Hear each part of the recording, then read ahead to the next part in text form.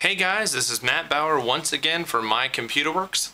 In this week's video, I'll tell you how to convert documents, web pages, pretty much anything into Adobe PDF format.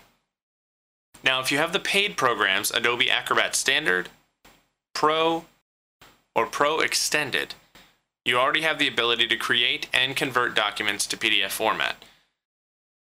In the File menu of any program, simply click Print, and select Adobe PDF as your printer.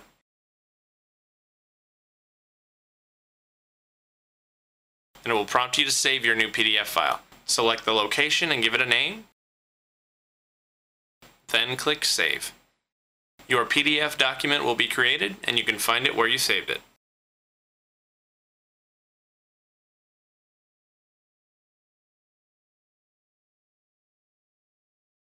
However, if you don't have any of these programs and you just want to convert a document to PDF, there is a free utility you can download and install called CutePDF Writer. Just go to cutepdf.com, click Free Download under CutePDF Writer, download the file, run the file. In the installer, click Next, I agree, Next,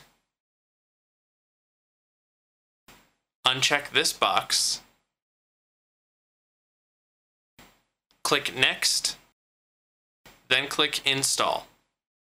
This message will come up telling you that you need to download an additional free program that works with CutePDF to convert files to PDF format.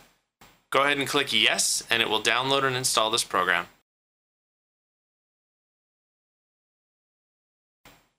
When it's done, it'll take you to a page with instructions on how to convert to PDF, which I will show you right now. Now it's actually the same procedure as I mentioned earlier, so while in any document, such as a Word document, go to the File menu, click Print, Select Cute PDF from your list of printers. When you print to this option, you'll be prompted to save your new PDF file. Select the location, give it a name, and click Save.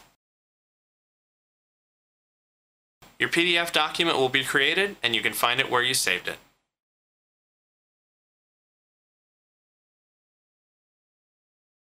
Well, that's it on how to convert to PDF files.